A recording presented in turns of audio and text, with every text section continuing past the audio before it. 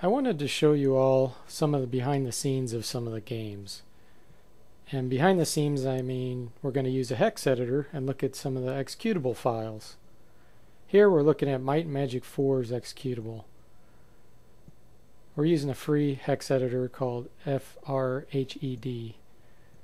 Here we can see that this was actually compiled using Borland C++ 1991. You can see all kinds of goodies through a hex editor. Here you can see some of the clear text of the game, such as monster names like Giant Toad and Wicked Witch. Now this is really hilarious. They actually have their technical support phone number embedded in the file. Well, I called the phone number and guess what? It's not in service. They even put their address in here. Look, a P.O. box. One other interesting fact of this executable is you can see compaq.print. So was this built on a Compaq? Now what about Might Magic 3? Let's take a look at that code. Well, when you look at this file, everything looks much more gibberish.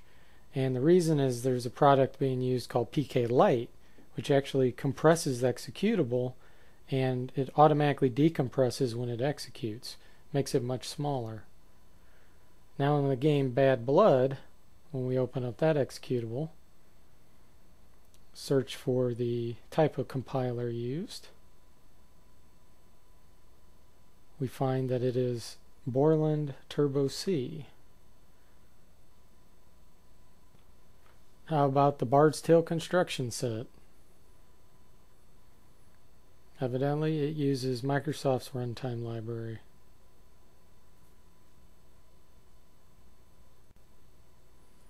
Fountain of Dreams. It also uses Microsoft's runtime library. Starting to see a pattern here? Almost all the games so far have used C or C++. Now we get to a big one. Heroes of Might and Magic 2. Here we're looking at the DOS executable. You can see the copyright from the company. Scroll all the way down and we see another copyrighted technology Smacker Video by Rad Tools. But we can tell that this is C++ because you can see some of the file names embedded. And they end with .cpp. There's also a technology used in here called DOS 4GW which was for getting past the 640 kilobyte memory limit in DOS. Finally, we see that the compiler that was actually used is Watcom C++ 16-bit. One of my favorite games, Ultima 6. Let's take a peek at that executable. What's it gonna be?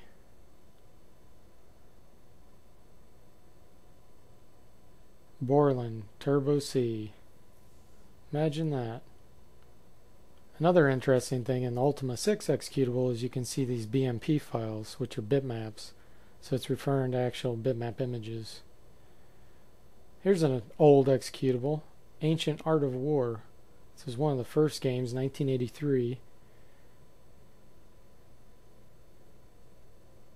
And interestingly enough, when we do a search and try to find copyright information, we can't find any.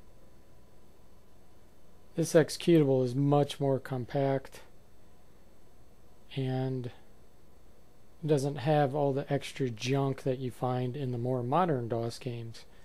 And if you think the DOS games are bad, you should try opening up a Windows executable someday. Here we found some of the text information. For most part, there's nothing really to look at in here. How about some of the other data files for Ancient War? Here we can see some data information. So what they did was they split it out into more files and got it outside the executable. Made it more modular. In other words, it's probably got a better design than the other games. You had to worry about memory a lot more when there was less of it, of course. Some of these data files appear to be the story information, some of it's titles of some of the quests. Some of it's just picture data. That's one of the fun things of playing around with the hex editor. Who knows what you'll find. Now King's Quest 1 has actually a much smaller file. It has what's called a command file. And you'll notice when I scroll down how tiny it is. That's it. Much more efficient than executables. Much better design.